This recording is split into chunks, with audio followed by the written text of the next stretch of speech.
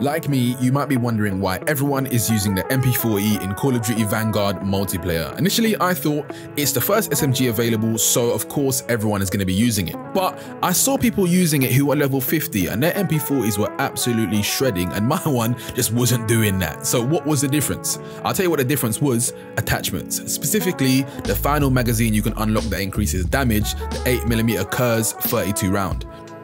Just look at that firepower difference. Additionally, hollow point rounds increase damage to limbs. This simple setup on the MP40 lets you two-shot people. Here's a demonstration with the bots.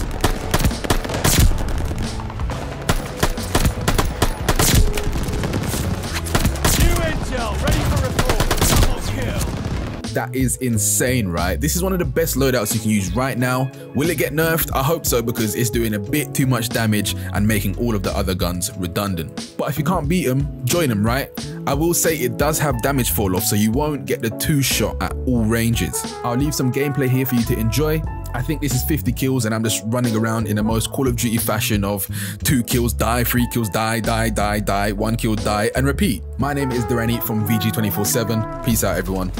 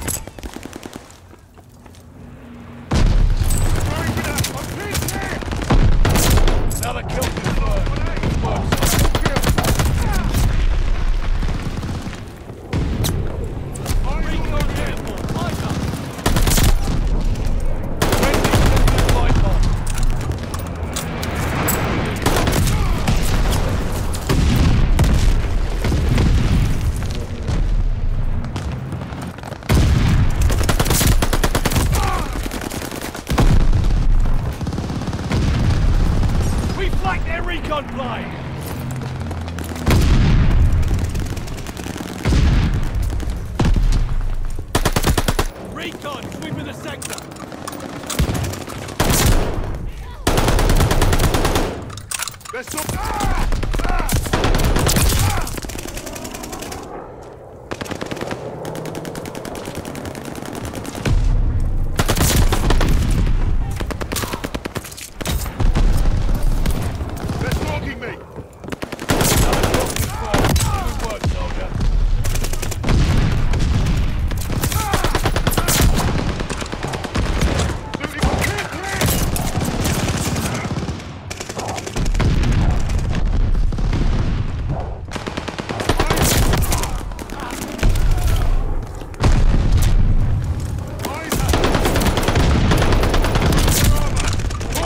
that's a kill confirmed for you. They're breaking their back! Got an enemy glide bomb on them.